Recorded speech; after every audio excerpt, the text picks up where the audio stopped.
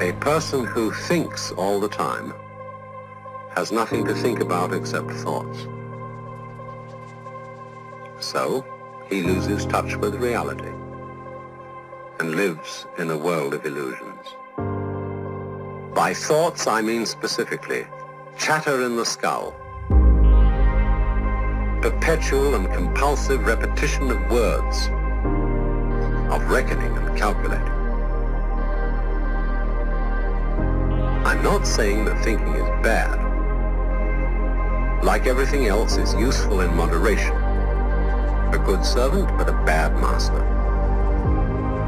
And all so-called civilized peoples have increasingly become crazy and self-destructive because through excessive thinking they have lost touch with reality. That's to say, we confuse science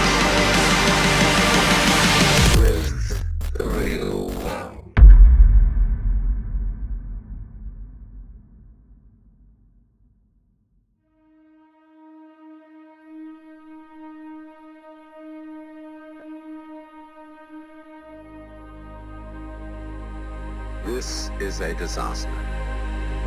For as a result of confusing the real world of nature with mere science, we are destroying nature. We are so tied up in our minds that we've lost our senses. Time to wake up. What is reality? Obviously, no one can say because it isn't words. It isn't material, that's just an idea.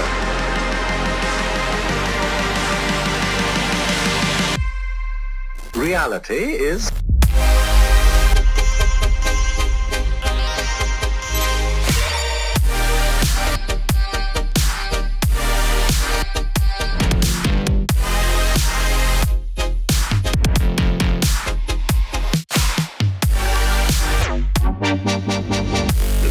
cannot be explained in words.